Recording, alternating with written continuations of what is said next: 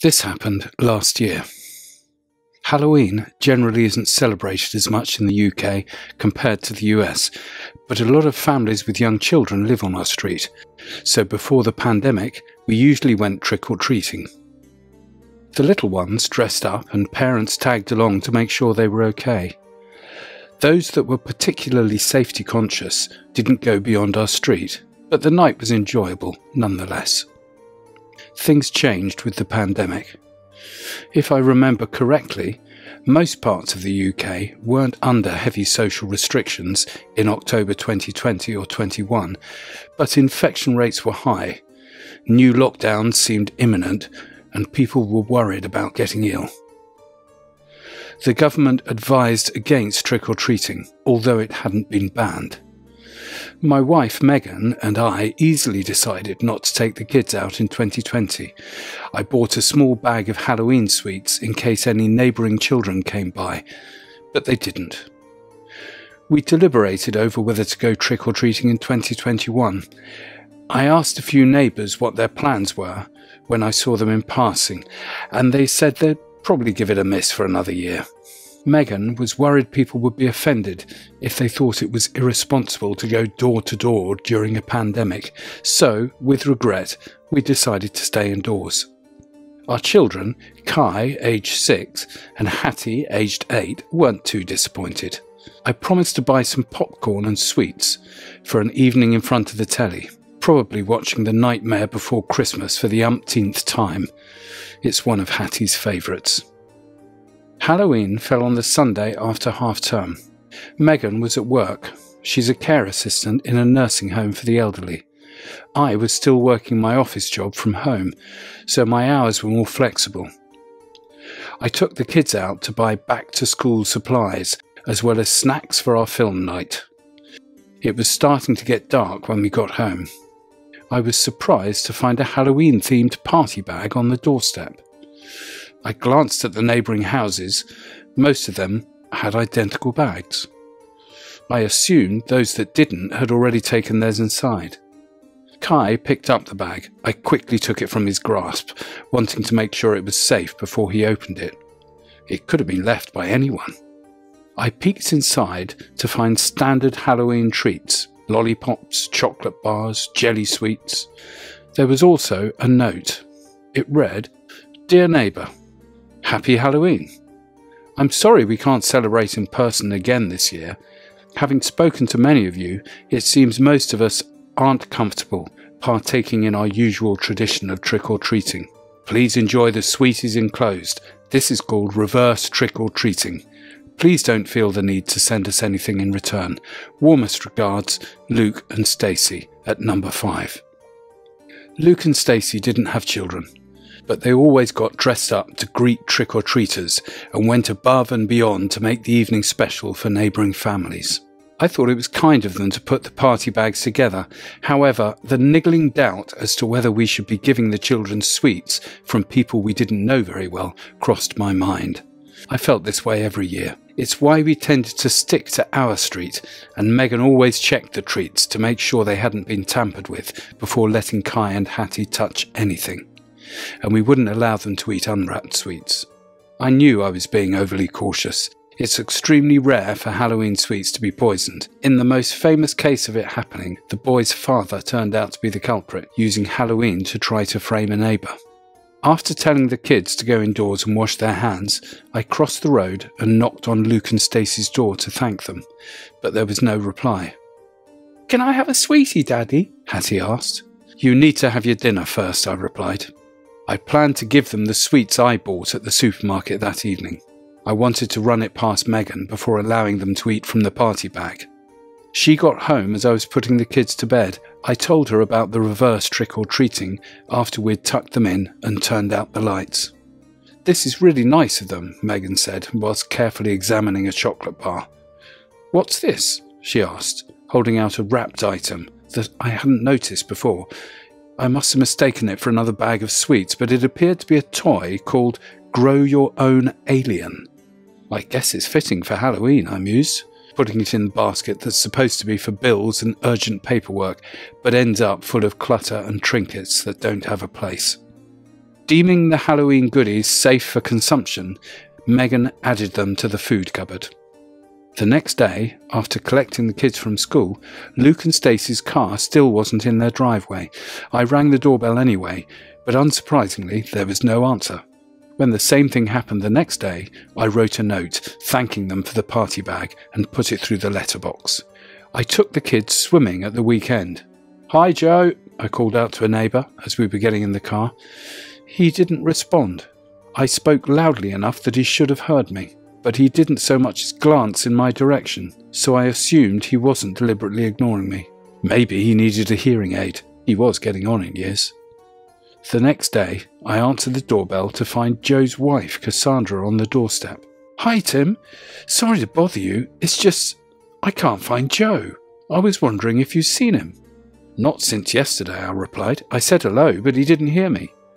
The police dismissed me because it's been less than 24 hours, but this isn't like him. He'd never leave without his phone, knowing how worried I'd be. I'll let you know if I hear from him, I assured her, but I knew this was unlikely. I only knew Joe in passing. He wasn't going to confide in me if he was in trouble. The doorbell rang an hour later. I thought it was going to be Cassandra again, but it was Stacy. Ah, Stacy! I wanted to say thank you for the reverse trick or treat bag. That's why I popped round. I got your letter and a few thank you cards from other people on the street, but we didn't send anyone anything for Halloween. We've been away visiting Luke's mum. I rummaged in the paperwork basket to find the note that came with the Halloween bag. I showed it to Stacy. She said, I didn't write this, neither did Luke. It's weirdly formal, isn't it? We don't talk like that.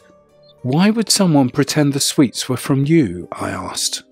I've got no idea. Maybe there's another Stacy and Luke at number five on another street, and someone delivered the bags to the wrong place. This seemed incredibly unlikely, but I replied, maybe, and wished Stacy a good day. I discussed Stacy's revelation with Megan when she got home from work. We were both flummoxed, but the sweets were harmless. Kai and Hattie had consumed half of them and were still in perfect health. We thought maybe someone wanted to deliver the bags anonymously, although we couldn't think why, and they could have left the note unsigned. It didn't make sense to pretend to be Stacy and Luke. A policeman was at the door the next day. He told us six of our neighbours were now missing. As well as Joe, two couples and a single parent had disappeared, leaving everything behind, including their children. Should we be worried? Are we in danger? Megan asked the officer. We have no reason to think so, but you should stay with family for a while if you're worried. If you stay here, please let us know if you notice anything unusual or any strangers hanging around. We decided to remain at home, but we didn't allow the children to go outside unattended, not even in the garden or driveway. It seemed to be adults that were being targeted, but it's better to be safe than sorry. The teenage son of our next door neighbour was reported missing the next day. Stacy sent Megan a Facebook message saying a friend of Luke's that works for the police said CCTV cameras captured the missing people walking out of town alone and seemingly uncoerced, but they were moving in a strange robotic manner.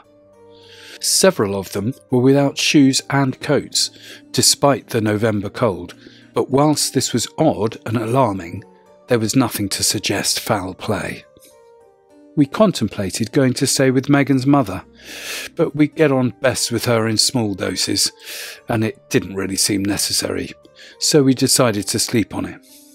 I was woken in the night by Hattie shaking me. Daddy! Daddy! Wake up! She whispered urgently. I could hear the fear in her tiny voice. What's wrong, sweetheart?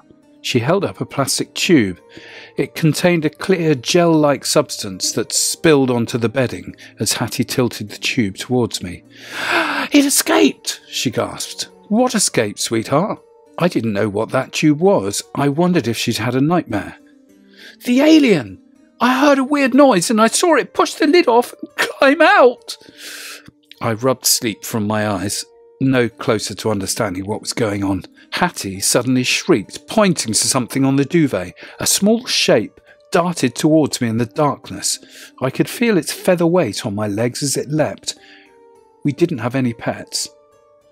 I quickly turned on the bedside lamp to find a jelly like creature crawling inside Megan's mouth as she slept.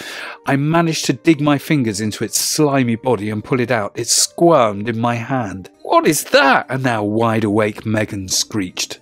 It's the alien, Hattie replied, as if it were obvious. What alien? I found it in the kitchen. After a moment's confusion, I remembered the grow your own alien toy from the Halloween bag. I thought it was like an ant farm, Hattie wailed. It's okay, sweetie. Go to your brother's room and close the door. Don't come out till I say, Megan instructed, ushering our daughter out of the room as it became increasingly difficult to keep hold of the thing in my hands. It resembled a frog in size and shape, but had no discernible facial features, and there weren't any organs visible inside its clear, gloppy body. Megan ran from the room and returned with a plastic bag. We managed to trap the thing inside. I found an empty shoebox in the cupboard under the stairs and we sealed the creature in with duct tape. It crashed against the sides, sending the box sliding across the table, but it couldn't get out. This is going to sound crazy, but I think that thing was trying to possess you, I told Megan, half expecting her to make fun of me. Instead, she said, I'm calling the police. Whoever left that trick or treat bag obviously didn't have good intentions. The thing inside the box fell still and silent while we waited for the police to arrive. They opened it to find nothing more than a sticky puddle. They thought we were mad when we told them what had happened. But they took the slime away to test for harmful substances after we explained the mysterious circumstances of how the toy came to be in our possession news got out that Luke and Stacy hadn't sent the Halloween bags. Everyone threw away anything from the bag they hadn't used yet, and fortunately, nobody else disappeared.